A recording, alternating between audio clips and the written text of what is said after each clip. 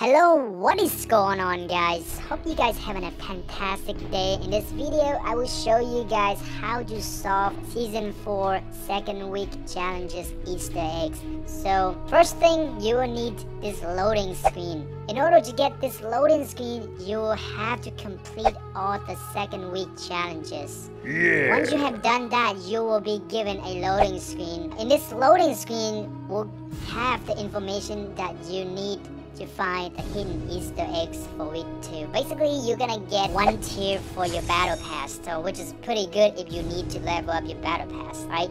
Once you get the loading screen, if you pay attention, you're gonna see the loading screen on that brick walls will have A4, B4, B3, A3. So basically, we'll need to find the intersection of these code. When you're loading into a match, if you get a chance to take a look at the map, you see on the top the map A to J and on the on the left side from 1 to 10.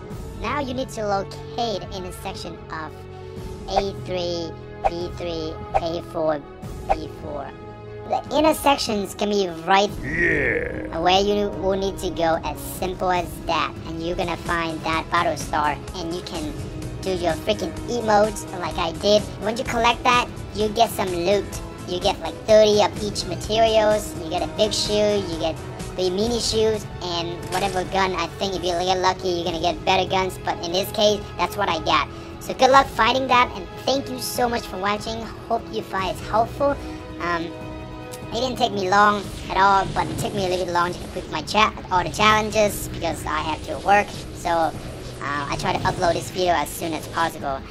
So thank you so much for watching. If you enjoyed this video, slap that like button. If you're new to the channel, make sure you guys subscribe for the week 3 Easter eggs. I will make sure I'll upload it as soon as possible. That's gonna be it for this video, and I'll see you guys in the next one.